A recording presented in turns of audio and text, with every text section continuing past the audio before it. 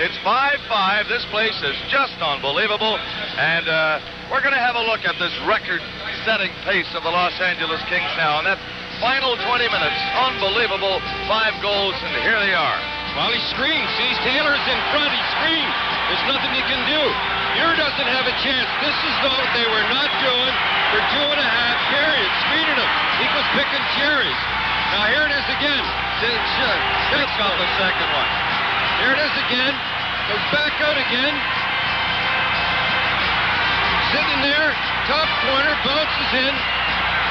Galliana penalty. There's nothing you can do about it. Fiersterberg. That was 5.58, Don. And then at 14.38, Charlie Simmer was on the spot, and he made it 5 to 3. Well, this is the one. This is the one. He comes around. He tucks it in on him.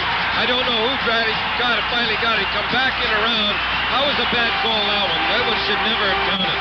But this is a killer coming up. The fourth one is a killer. This should never have happened. Fuhr has been great all night. He just couldn't hang on to the post enough with his skate to keep that one out. Here's Hardy's goal at 15.59. You're right along Again, beautiful. Now, the LA Kings have the man advantage. That's not enough. They took the goaltender out. Lazard had an extra man on. Bozek with only five seconds left. Here he makes the initial save. When you make the initial save, that's all you can ask your goalie. Five seconds left to go. An awful lot of penalties in that period. That's what killed him. Those dumb penalties they were getting. You know, life is great when you're up 5-1. Look at Charlie doing a little dance there. Beautiful. But you can't get to keep getting those dumb penalties in the playoff.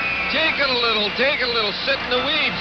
Five minute major with five minutes to go should never have happened. I can't believe this series. And it's not hardly over yet. Overtime coming up. It's 5 5.